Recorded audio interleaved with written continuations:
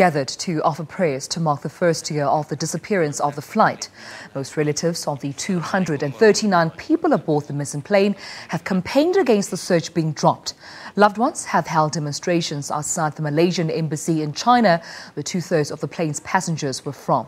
Searchers say they hope to map the entire area by May.